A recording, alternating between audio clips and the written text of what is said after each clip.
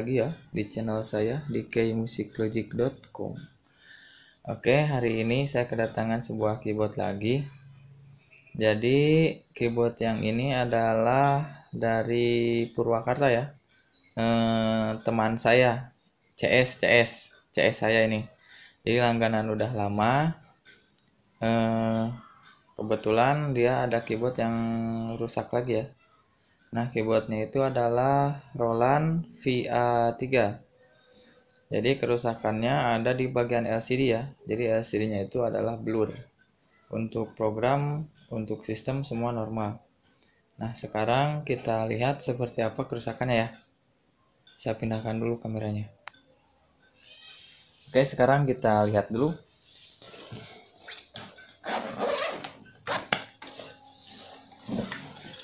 Ini adaptornya ya, gede bener. Adaptornya.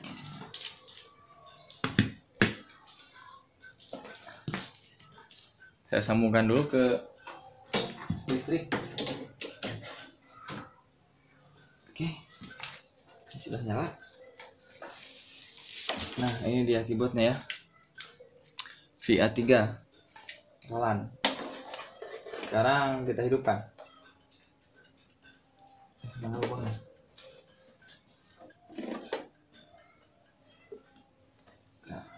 kita hidupkan ini barangnya. Jadi kerusakan ada di LCD nya ya blur. Kalau untuk program tuh semua normal. LCD nya agak jelas ya blur banget. Program semua normal. Ini ada ada suaranya normal.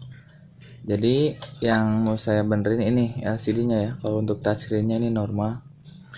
Sekarang saya mau bongkar dulu oke? Okay? oke okay, sekarang ini matikan dulu. Saya bongkar dulu ya bautnya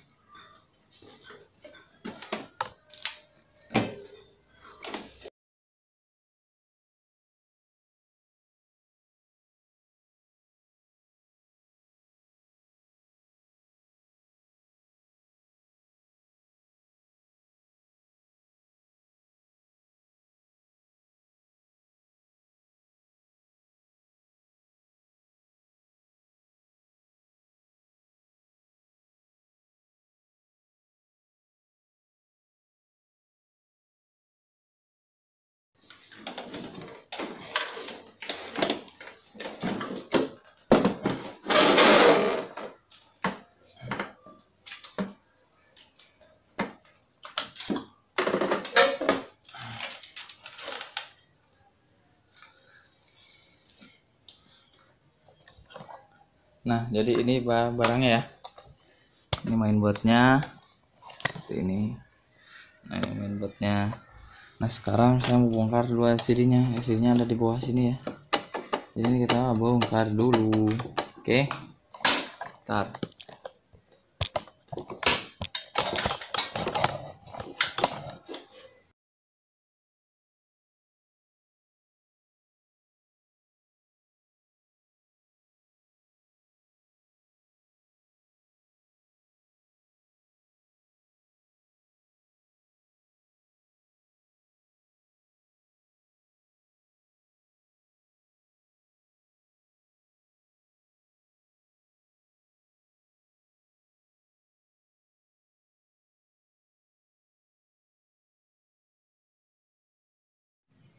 Oke, ini dia LCD-nya ya, udah lepas. Ini kita bongkar lagi. Kita lihat. Oke, ntar bongkar dulu.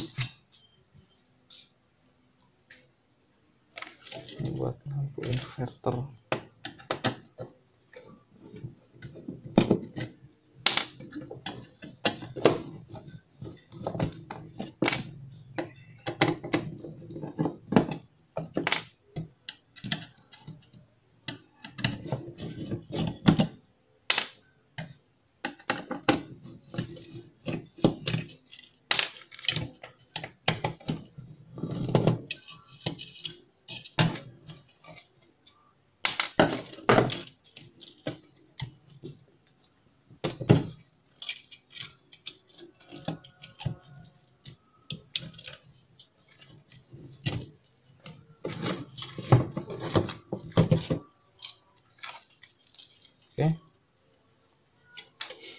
Ini dia LCD-nya buset ya.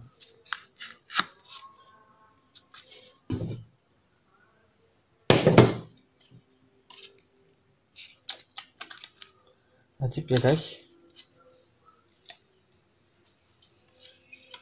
Ajib ajib ajib ajib ajib.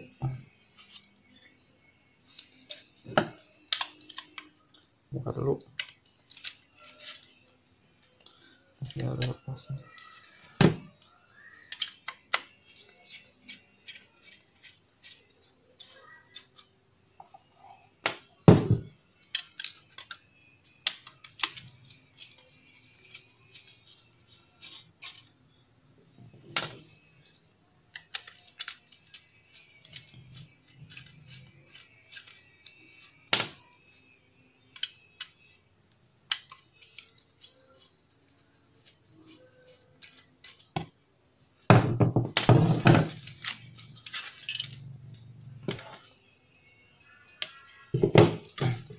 Hasilnya nih.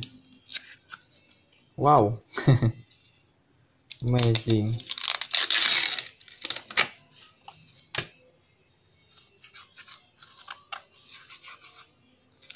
Kalau kalian mau pasang sendiri Polaris liquidnya atau liquid LCD-nya kalian bisa beli ya ada di Bukalapak atau Shopee atau Tokopedia. Di situ ada uh, toko saya. Cari aja kayak musik. Harganya 350.000. Kalau kalian pasang sendiri bisa.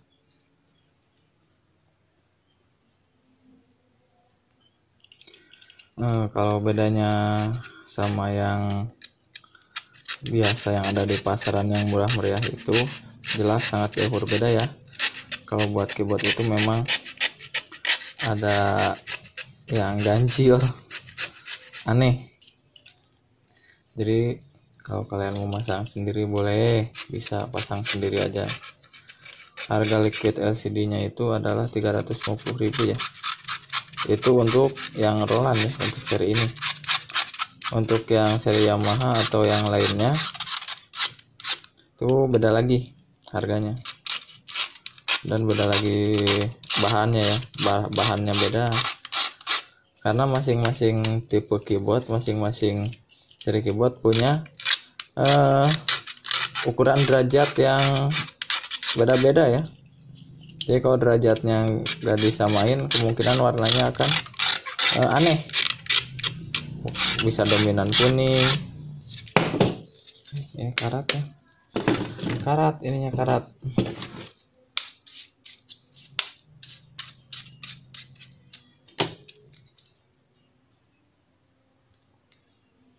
nah sekarang ini mau saya garap dulu ya.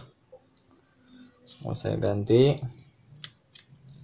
Kalau kalian uh, ada kerusakan yang sama kayak gini terlalu beresiko ya kalau pasang sendiri memang. Terlalu beresiko karena kalau belum pengalaman apalagi. Itu kemungkinan LCD malah rusak ya. Jadi sebisa mungkin mending dibawakan ke ahlinya saja silahkan dipaketkan ke saya boleh.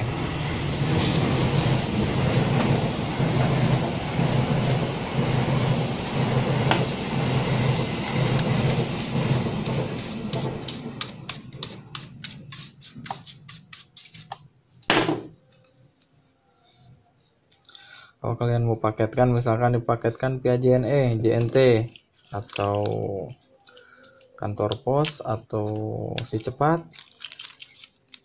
dan lain-lain itu pasti sampai ke saya ya. Karena kebetulan rumah saya nggak jauh dari kota atau bisa sebutkan di kotanya lah.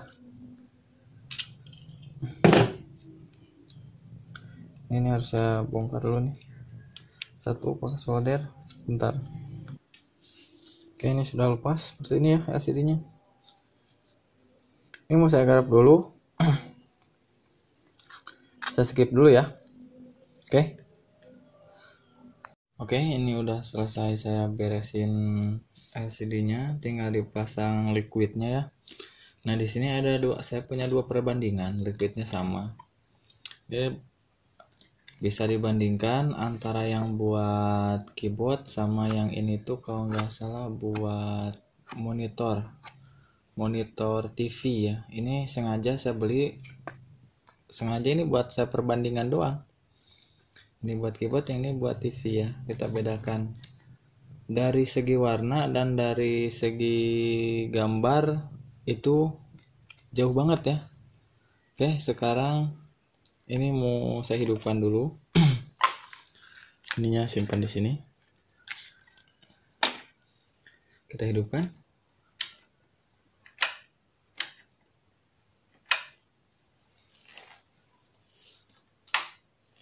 adaptornya belum dicolok. Nah kita hidupkan. Ini posisi hidup ya. Tapi di sini gak ngeluarin apa-apa.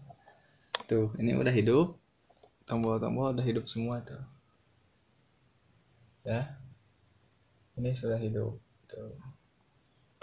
Nah tapi di display ini belum ngeluarin apa-apa. Terus bagaimana? Nah sekarang mau saya bedain ya. Ini buat uh, monitor. Nah, buat monitor seperti ini. Ini tuh gak jelas. Tuh. Gak jelas. Ya. Nah, saya beda bedain dengan yang buat bagian ini, keyboard. Nah. Tuh. Kan jelas. Ya. Nah, begitu perbedaannya. Jadi, Kenapa buat keyboard mahal? Karena beda, bahannya tuh beda ya. Nah sekarang ini mau saya pasang. Kalau kalian mau beli ininya, liquid LCD ininya, untuk Roland yang ini, kalian bisa kunjungi di website saya di kmusiclogic.com. Nah, di situ ada nomor HP saya ya. Kalau kalian mau beli atau kalian mau servis juga LCD-nya. Kalian tinggal komen lah kalau misalkan males uh, kunjungi website saya, kalian tinggal komen. Nanti nomor HP-nya ada di uh, komentarnya juga ya. Nanti saya balas nomor HP-nya saya kirim lewat komenan. Oke, sekarang ini mau saya coba dulu, mau saya bukan saya coba, ini mau saya pasang dulu. Nanti setelah selesai saya videokan lagi ya. Oke. Oke, ini udah saya pasang ya. Touchscreen udah. Uh, tombol-tombolnya juga sudah. Ini mau saya coba. Kita lihat hasilnya bareng-bareng ya. Karena ini dihidupkan yang pertama kalinya ya. Kita coba lihat. Satu, dua, tiga. Nah,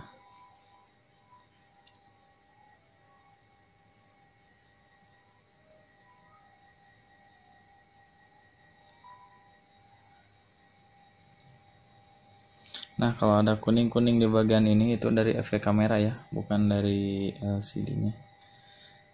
Nah, ini kan bisa diatur nih kontrasnya. Tuh.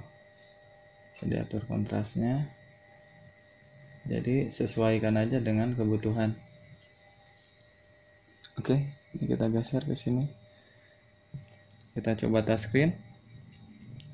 Semua normal ya. Oke. Oke, berarti ini udah selesai ya.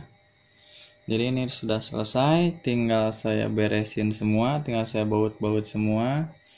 Nah, kalau kalian punya kerusakan di bagian LCD atau kerusakan persis sama kayak gini, kalau mau diservis dikirim LCD-nya aja boleh.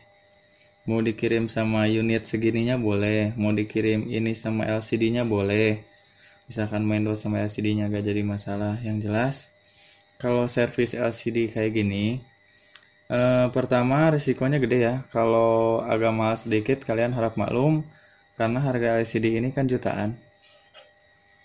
Terus di touchscreennya juga ini kan takutnya ada kesalahan apa kesalahan apa. Kalau ada yang salah pasti ini touchscreen nggak bakal berfungsi ya. Nah seperti itu. Jadi di video hari ini saya cukup segini dulu ya. Nantikan video uh, selanjutnya Jangan lupa like-nya, share-nya, subscribe-nya juga, loncengnya tuh bunyikan. Biar ada kerusakan, eh, biar kalau ada video tentang kerusakan keyboard lainnya, kalian eh, dapat notifikasi ya. Nah, seperti itu. Eh, videonya lumayan panjang. terima kasih banyak ya udah menonton dari awal sampai akhir eh, jangan lupa kalau ada yang kurang paham kalian komen saja terima kasih sampai bertemu lagi di video selanjutnya. Wassalamualaikum warahmatullahi wabarakatuh